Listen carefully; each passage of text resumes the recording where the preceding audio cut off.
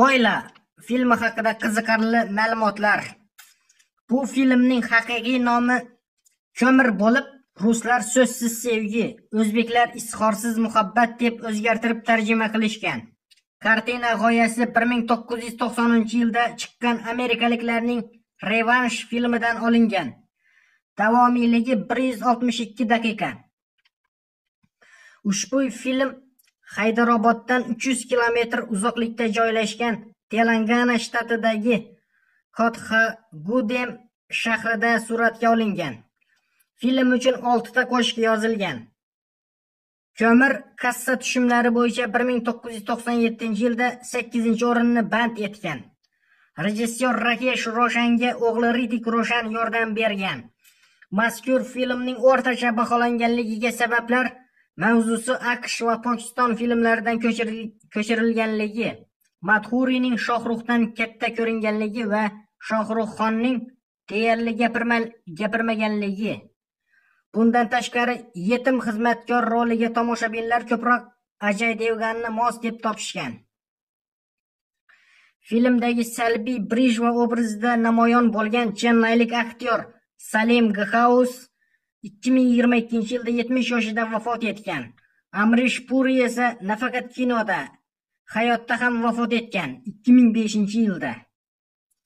Salbiy obrazlar qiroli debshika nakbal bilan Podshoh filmida ham partnyor bo'lgan. Shohruxxon Shankar rolini ijro etgan va u paytlarda 31 yoshda bo'lgan.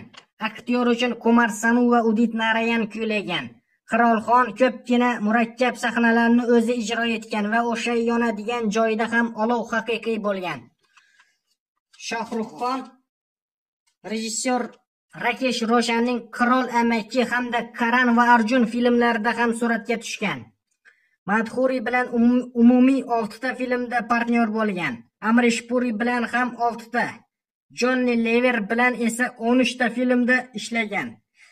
Shohruxxon nafaqat kinoda, hayotda ham o'sha paytlarda ota-onasiz qolgan edi. Shankar roliga Sanni Deol ham nomzod bo'lgan edi.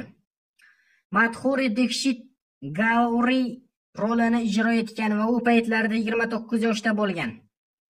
Aktrisa uchun Priti Sinih va Alka Yagnik kuylagan. Filmning birinchi qismida Gauri yosh bolalar bilan yuradi. Shunga o'xshash sahnadan Rakesh Roshan Biz yolg'iz emasmiz filmida ham foydalangan. Mohnish Baxil Gaurining mehribon akasi bo'lib o'ynagan. Mazkur ikkinchi darajali aktyor asosan salbiy rollari bilan yodda qolgan. Mazkur film davlat telekanallarida 2009-yilda premyera qilingan.